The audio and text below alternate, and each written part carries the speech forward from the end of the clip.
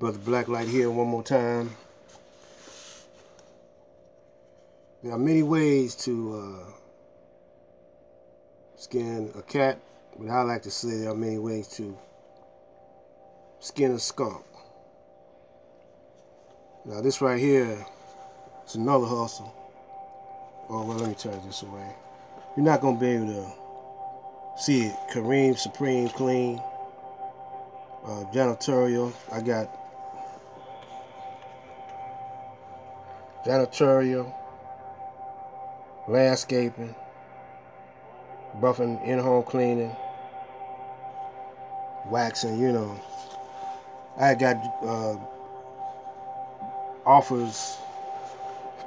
You know, in banks you know, to do banks and you know stuff like that. You know, uh, a lot of a lot of people don't don't want to clean uh, up after themselves.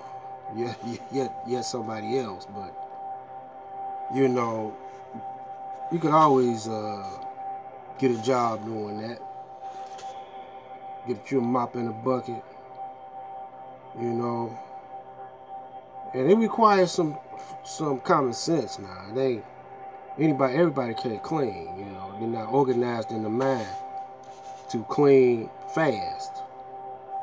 See, I could clean uh, a whole building in two hours and a half. See, or maybe three, office building, and get paid for eight, eight hours. You know, and uh, if I knock out, say if I'm making uh, a simple thing like ten dollars an hour, and I knock out a job in two two hours. Well, if you double that, that that that becomes like instead of ten dollars an hour, becomes twenty dollars an hour or twenty five dollars an hour. Then I'm on to the next job. You know, and I knock that out in two hours. And if I do, if I got three jobs, and it take me a half hour to get from each job to each job, job to job, and uh, say it's an hour and a half, that I'm not making no money. Well, normally you would have your lunch. You would have lunch in an hour and a half you know, or half hour, and maybe 15, 15 minute breaks. But I don't break. One time I break is when I'm going to the next job. Knock it out, two hours, two hours and a half, and I be done made a hundred dollars that day, just by myself, you know. But you gotta have the, you know, the, the right equipment and the right uh, tools for the job, the right chemicals, the cleaning equipment, the cleaning uh, for the job, you know. And you just got to be good at it. Just don't miss no spots, you know. And a lot of people don't want to do that, see. But a lot of people uh, made plenty of money off of that. And say if you cut grass in the uh, in the uh, summer, and blow snow in the winter. But if it ain't no more snow, uh, do other kind of jobs, you know? You can hustle all year long. See, now this is what this is about. You know, uh, brothers is kind in the community because y'all don't want to do for self. And if you do for self, you want to kind of people you want to make some quick, easy money by conning or beating the people out of, out of money, you know. Now, brother's saying that, well, uh, we work for the white man and this and that and other. You're always gonna work for the white man. He always gonna get a cut, even if you don't work.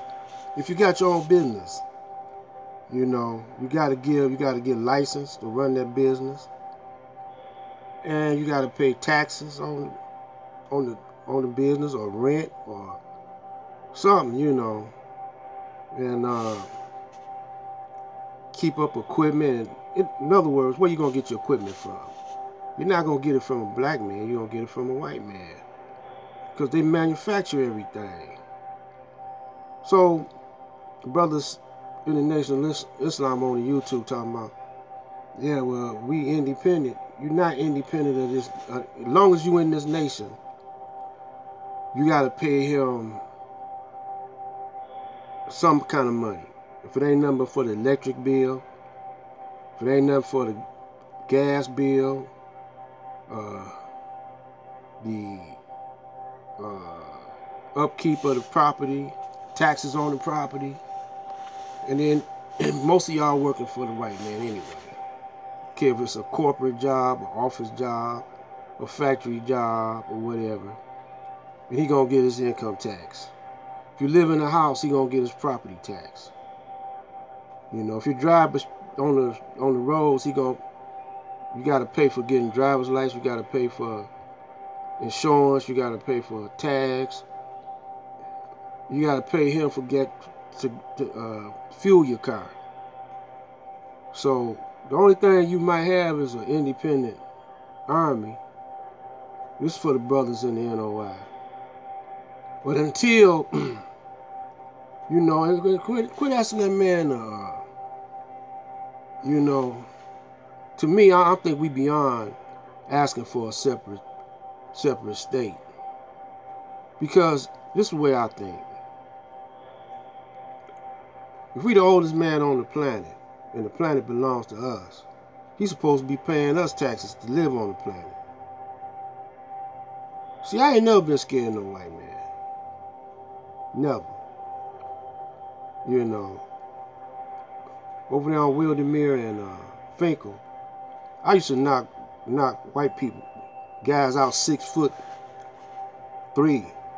I knock them out. Believe it or not. I had many encounters with white guys. You know. On Fenkell, Detroit. On the east side, it was them hillbillies that lived over there. On uh, over there on Jefferson back in the day in the 50s. And they could fight. Of course, they'd be 15 years old looking like they uh, 10, you know. But they could fight. Them hillbillies could fight. Uh, Jews can't fight. They might can fight now though, but they you could whoop them. Uh, them hillbillies, they they white too, but they hillbillies, man. They could they they hard. The Italians, they just fight dirty.